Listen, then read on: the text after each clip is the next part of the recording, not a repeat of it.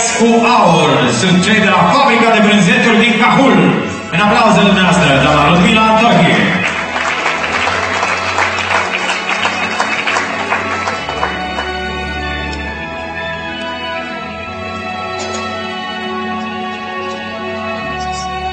Felicitări!